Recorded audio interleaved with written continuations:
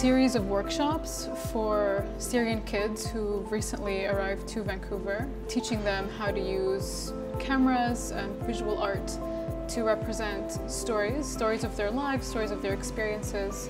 My name is Barfin. I'm 11 years old. I learned that you can take a picture of things that you like and they, they are important to you.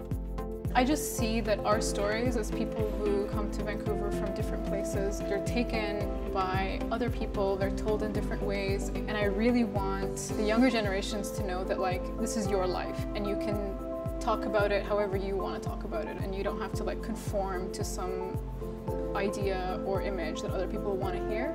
You can say whatever you want to say about your story and I think that that's like really empowering. I'm Nawar uh, from Iraq. I just came here the last two months. I used to do photography back in Iraq, trying to show people a different side of Iraq.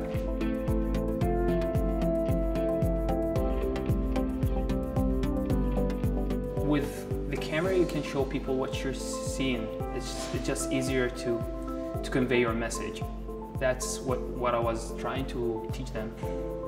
The goal is basically to empower kids to tell their, yeah, to talk about their experiences.